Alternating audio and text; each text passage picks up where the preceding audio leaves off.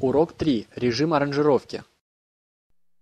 Режим аранжировки представляет собой аудиозапись, в которой будут звучать все находящиеся внутри звуки в том порядке, в каком они расположены.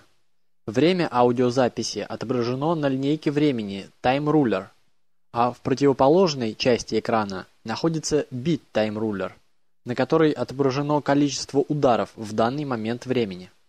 Режим аранжировки предназначен в основном для работы с уже готовыми записями или сценами из режима сессии. В отличие от режима сессии, MIDI и аудиотреки располагаются здесь по горизонтали, и проигрываемые клипы не лупируются, то есть не воспроизводятся заново, что позволяет методично обрабатывать несколько сессий подряд. Для этого потребуется скопировать каждый клип из режима сессии – так как в режиме аранжировки возможность создавать клипы отсутствует.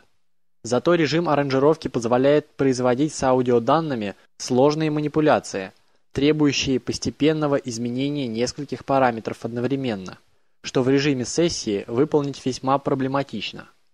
Режимом аранжировки удобнее воспользоваться в тех случаях, когда нужно работать только на конечный результат и не требуется быстрое манипулирование аудиоданными в реальном времени.